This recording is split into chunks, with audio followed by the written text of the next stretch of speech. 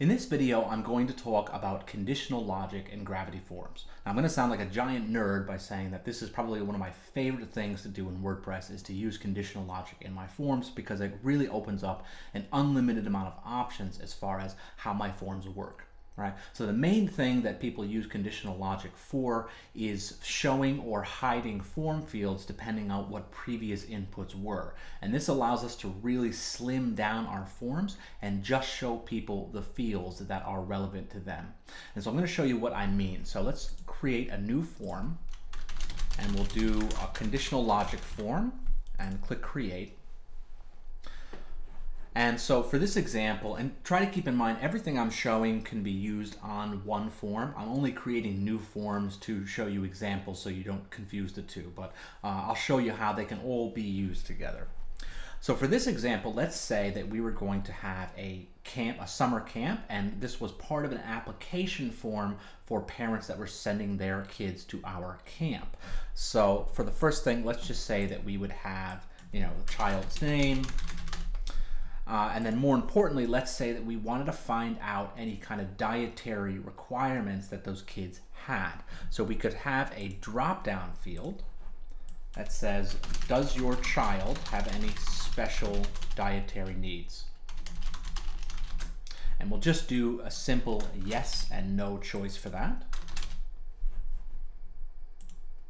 And under placeholder, we'll do please select. So that's the first thing that they're seeing, not yes or no. So it loads up like that. And then let's just save that form. So, uh, so what we want to do is create a, now a second drop-down field. And we will say, or actually let's do a checkbox field. And we'll say, please select all that apply and we can do something like you know vegetarian or you know lactose intolerant and let's say vegan right? And then we'll add in another choice for other. And then I'm going to update that, that again. So now I'll go into my checkboxes field and I'll click on advanced and then I'm going to click on enable conditional logic and the reason that I was saving in between each field is in order for the fields above to show up in this dropdown, we need to save it. And that kind of registers it as a new field, right?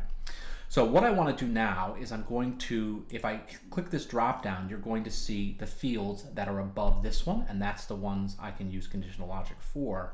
So I'm just going to click on, does your child have any special dietary needs?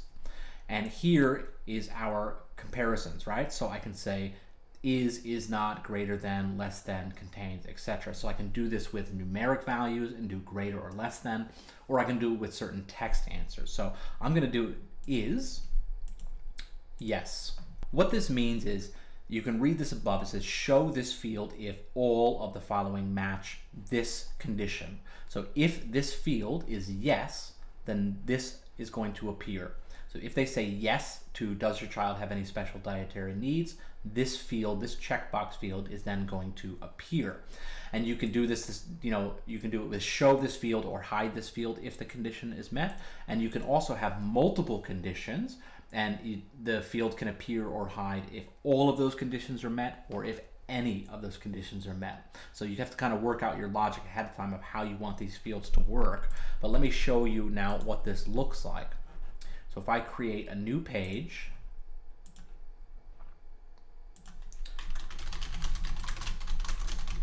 and I'll add in our form and click on publish and then I take a look at that on our front end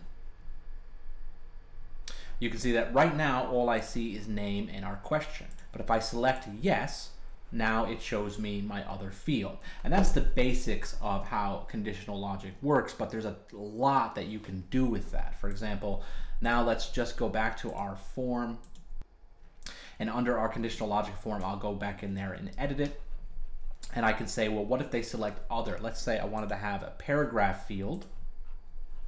And I'll go to advanced and I click enable conditional logic. And I'll say, if does your child have any special dietary needs is or sorry, if uh, please select all that apply is other, it's going to show me this paragraph field, and I can say, please describe in detail.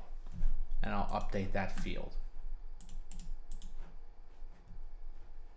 So now if I select yes, it shows me the options. And if I click other, it'll say, please describe in detail, and then they can fill it out. So you can see the basics of how conditional logic work. Essentially, I can show or hide fields based on how people answered the form fields above it. But there's a couple other uses for this. So it can also be used in our calculating form. So if I go back to forms and I open up my quiz, for example, so what we could do is we could create an HTML field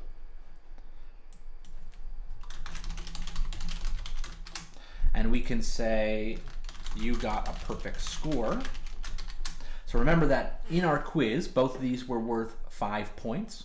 So what we want to do is we're going to go to advanced, we're going to enable conditional logic, and we're going to say if our quiz total is uh, equal to or is 10, then show this content. And that will show that you, you know, it'll show the text you got a perfect score. So let's duplicate this field and say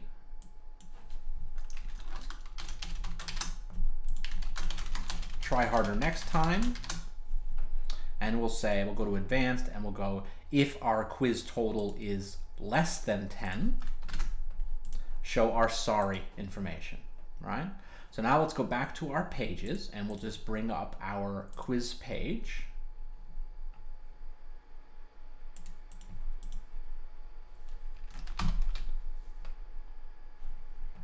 And so now I can put in my name. And remember, I'm only seeing this field because I'm an administrator, right? So now we do George Washington and we do four. So you can see once I filled both these out correctly, I have you got a perfect score. And before, if I select a wrong answer and my score is less than 10, it's going to show try harder next time. So that's a, you know, a pretty basic example, but you can see how you can you know, display or show information based on conditional logic, and that conditional logic can also be applied to any calculations that we're having, right? And so the last thing that we can use conditional logic for is we can also use it for different notifications. So what I'm going to do is I'm going to create a new form. And let's do, actually, I will work off our standard contact form here. We'll go to Gravity Forms demonstration.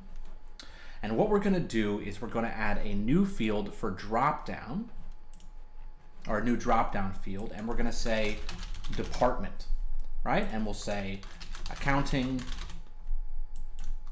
tech support, general, and we'll save that field. And then what we're going to do is we're going to go to our settings and go to notifications, so what we're going to do is we're going to create a new notification and based on the department that they selected, we're going to have them, they're going to have the form results sent to a different email address. So we can create multiple notifications and enable or disable them with this toggle. And we can also have multiple notifications.